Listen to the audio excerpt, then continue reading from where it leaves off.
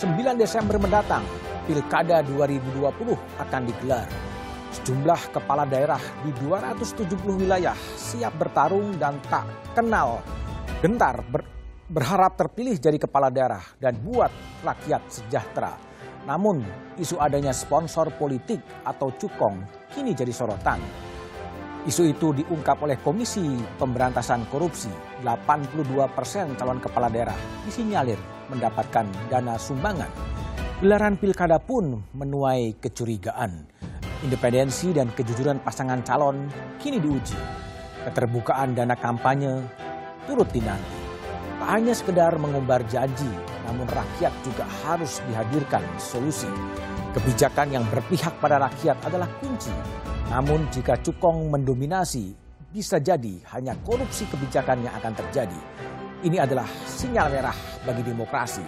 Lalu sejauh mana peran cukong dalam pilkada? Bagaimana pula dampaknya terhadap kebijakan kepala daerah? Inilah satu media forum, puasa cukong di pilkada.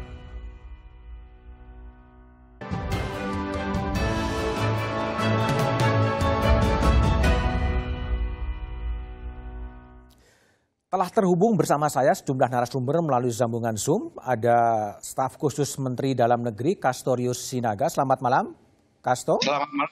Selamat malam Mas Budiman, apa kabar? Baik-baik baik, saja. Ya. Kemudian ada Komisioner Komisi Pemilihan Umum Ilham Saputra. Selamat malam, Pak Ilham. Selamat malam, Assalamualaikum. Waalaikumsalam. Kemudian ada Wakil Ketua KPK, eh, Bang Nurul Gufron. Malam, Pak Nurul. Selamat malam Bang Budiman, sehat selalu. Sehat-sehat dan kemudian ada peneliti Indonesian Corruption Watch Almas Syar Syarfina. Malam Mbak. Almas. Malam Mas Budiman. Oke baik, saya akan memulai diskusi uh, awal dari uh, Mas Nurul Gufron dari KPK. Pak Nurul, jadi ya Pak Nurul Gufron, jadi artinya ada 82 persen calon kepala daerah yang didanai oleh sponsor. Gitu hasil penelitian dari KPK ya? Benar Mas Budiman, jadi KPK uh, eh, telah melakukan kajian dan kajian itu telah dilakukan uh, sejak 2018 ya sampai tahun 2020 ini. Yang kami uh, apa teliti dan kaji, pertanyaannya mungkin kok bisa begitu ya? Hmm. Bisanya begini, kami mempertanyakannya itu bukan kepada yang menang, tetapi kepada yang kalah. Oke. Okay. Sehingga kalau yang kalah itu uh, itu me menceritakan pertama dananya berapa yang menghabiskan ke, ke kala kala apa uh, untuk kontestasi pilkada ini, kemudian sumbernya dari mana. Nah, Oke. Okay. Kalau yang menang biasanya akan menyembunyikan itu, kalau yang kalah akan terbuka gitu. Oke. Okay. Artinya 82 persen uh, calon uh, pilkada ini khusus untuk 9 Desember nanti atau itu penelitian yang sifatnya lebih umum sebetulnya? Kami menelitinya uh, untuk pilkada sebelumnya, tetapi itu bisa kemudian menjadi perspektif ke depan bahwa kita dalam bahaya, bahwa pilkada itu rentan kemudian untuk dicukongi, sehingga ketika dicukongi maka KPK me, me, perlu memberikan waspada bahwa uh, arah uh, pilkada ke depan yang diharapkan itu menemukan pemimpin-pemimpin yang berintegritas, hmm? pro rakyat untuk kepentingan rakyat. Tapi kalau sudah dananya uh, bersumber dari pihak ketiga, tentu kemudian setengah dari kebijakannya atau mungkin mungkin bukan hanya setengah itu sudah tergadaikan pada pada pendana politik tersebut gitu. Mas Nurul, itu persisnya gimana? Persisnya kong kali kong antara calon kepala daerah dengan para cukong atau para bandar itu persisnya gimana temuan dari KPK? kami menelitinya begini, jadi eh, saya kira Kemendagri juga sudah melansir ya bahwa rata-rata eh, kebutuhan dana politik untuk pilkada okay. untuk kabupaten kota itu antara 20 sampai 30 ya, miliar ya, lantas hmm. untuk provinsi 30 sampai 100 itu itu saya kira masih terlalu kecil juga, saya kira lebih dari itu sesungguhnya. Nah, lantas kemudian kami mempertanyakan kepada setiap kontestas, eh, kontestan atau pasangan itu mereka sesungguhnya memiliki dana sebegitu itu eh, berasal dari mana? Nah, yaitu hmm. ternyata uh, hanya 16 persen, uh, 18 persen yang menyatakan bahwa itu dari dana sendiri ataupun dari sumbangan uh, okay. yang yang yang legal. Oke. Okay. Selebihnya itu ada sponsor begitu. Ada sponsor terus dalam proses proses pemberian sponsor ada negosiasi di balik itu? Oh kami tidak sampai uh, sebegitu karena kami kan ke menelitinya, mengkajinya kepada uh, teman-teman pasangan-pasangan yang kalah. Sehingga apakah kemudian uh, dana uh, pilkada tersebut kemudian di di apa di kontraprestasi dengan dengan apa dengan prestasi entah entah misalnya apakah perizinan, entah sumber daya alam ataupun proyek-proyek uh, PBJ itu uh, kami belum masuk ke sana, tetapi yang yang perlu di, di, di, diketahui juga bahwa uh, korupsi di daerah itu rata-rata uh, 66 persen itu berupa suap. Suap. Yang uh, suap. Lantas 20 persen uh, pada pengadaan barang dan jasa, 20 persen okay. itu pada PBJ. Itu menggambarkan bahwa uh, orientasi pilkada ingin menjadi pemimpin sebenarnya sudah kemudian ber, ber apa uh, ada bias ya, ada ada ada ada ada penyimpangan.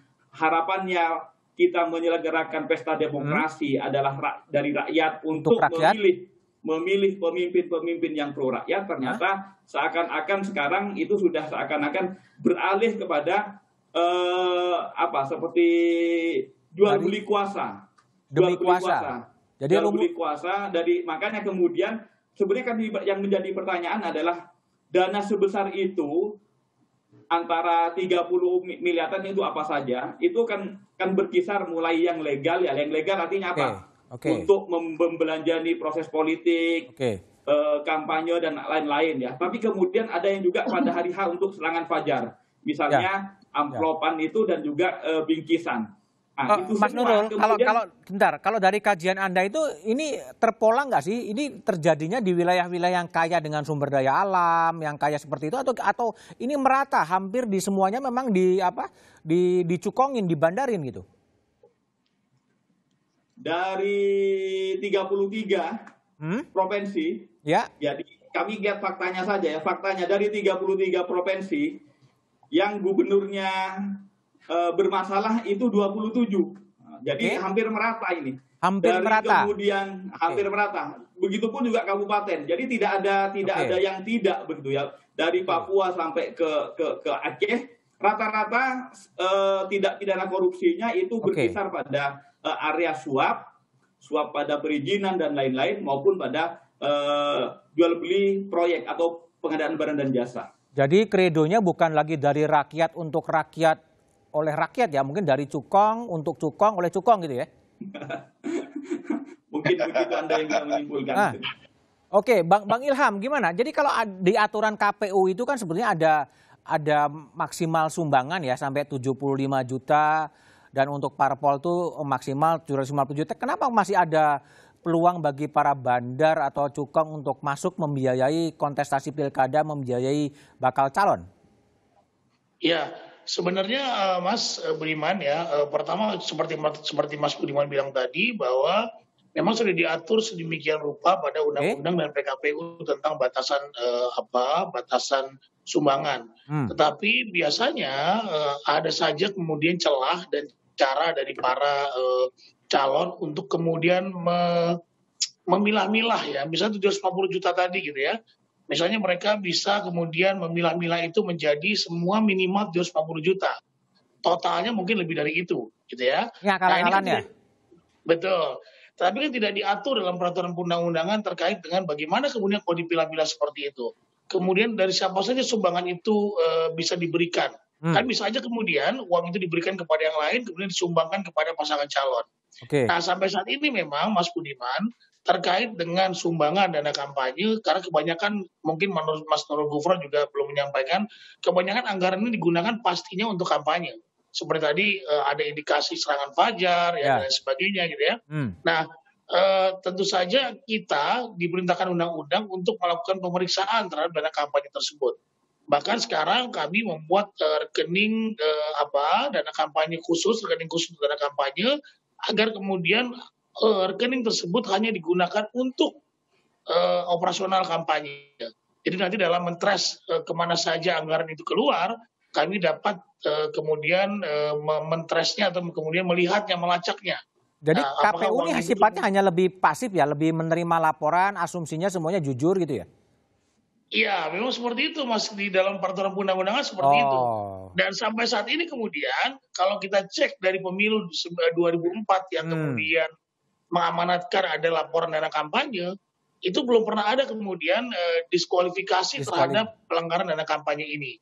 Karena uh, sekali lagi mungkin terkait dengan pengawasan, kemudian aturan hukumnya yang okay. belum uh, tajam terhadap pelanggaran-pelanggaran dana kampanye. Walaupun sebetulnya pelanggaran dana kampanye ini bisa berakibat kepada diskualifikasi, diskualifikasi. pasangan calon. Oke, baik, baik.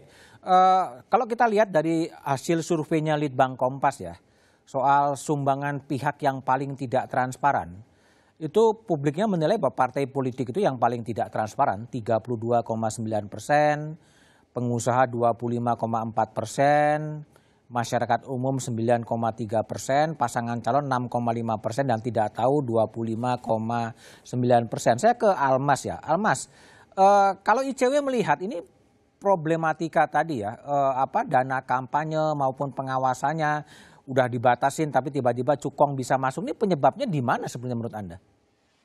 Iya, Mas Budiman, uh, kalau menurut kami di ICW ada beberapa masalah ya. Yang pertama, betul bahwa memang undang-undang kita Undang-Undang 10 2016 maupun PKPU itu sudah mengatur dana kampanye sedemikian rupa. Hmm. Ada batasan uh, penyumbang, kemudian juga disebutkan ada batasan pengeluaran dana kampanye, tapi problemnya yang paling mendasar tidak ada instrumen yang dapat menjamin atau oh. memastikan oh. bahwa laporan dana kampanye dari pasangan calon kepada KPUD itu adalah laporan yang jujur gitu ya, laporan yang benar-benar Jadi pro forma aja ya Iya, lebih ke apa namanya ya pemenuhan syarat administratif syarat ya? begitu ya. Okay. Um, dan kemudian yang kedua, kenapa tadi disebut tidak ada instrumen untuk menjamin? Karena memang di proses auditnya lebih bersifat um, audit untuk untuk melihat apakah sudah sesuai dengan regulasi atau tidak hmm. gitu ya. Kita tidak punya data pembanding apakah memang betul pengeluaran ataupun pemasukan dana kampanye yang dikelola oleh pasangan calon itu sudah sesuai dengan realita di lapangan atau tidak itu um, satu soal. Kemudian soal yang lain, memang sudah ada batasan dana kampanye. Hmm. Tapi kalau kita lihat uh, berapa batasan dana kampanye di beberapa daerah, ini jumlahnya masih sangat tinggi gitu ya. Masih, masih sangat tinggi ya? Iya, masih sangat tinggi. Um, ada rumusnya sendiri di PKPU dan um, setiap daerah berbeda-beda begitu ya. Um, tetapi dari sisi jumlah batasan dana kampanye kami nilai ini belum efektif untuk kemudian menekan pengeluaran dana kampanye. Jadi kalau dalam biaya politiknya sangat tinggi, kalau kehadiran cukong itu sebenarnya masuk akal ya? Sebetulnya kehadiran penyumbang dana kampanye memang legal ya secara undang-undang, asalkan tidak melebihi uh, batasan sumbangan dana kampanye yaitu individu tidak melebihi 75 juta atau badan usaha tidak lebih dari 750 juta. Okay. Kemudian juga identitasnya dilaporkan secara jujur, okay. tetapi masih apa ya, masih banyak celah gitu ya yang bisa okay. dimanipulasi dari undang-undang itu. Kami menemukan uh, beberapa pelanggaran di dalam pelaporan dana kampanye uh, misalnya sumbangan itu dipecah kepada ya. beberapa penyumbang gitu ya padahal Akal-akalan ya Ya, banyak sekali um, apa ya akal-akalan dana kampanyenya atau triknya. Okay. Atau bisa jadi bisa jadi sumbangan dari pihak ketiga ini hmm. masuk dulu ke rekening pasangan calon, baru nanti dari pasangan calon dimasukkan ke rekening khusus dana kampanye. Oke, okay, Siapa baik. yang bisa men-track baik, itu? Baik, Almas, saya akan ke uh, Castorio Sinaga dari ya. uh, perspektif pemerintah ini biaya ya. politik ya biaya politik memang diasumsinya begitu tinggi gitu sehingga itulah yang membuka peluang uh, hadirnya para cukong ya para cukong untuk hmm. quote unquote mengkooptasi bakal calon gitu yang pada satu saat kemudian dia akan uh, memberikan kebijakan-kebijakan yang menguntungkan calon tapi saya minta pandangan Kasto setelah jeda berikut ini ya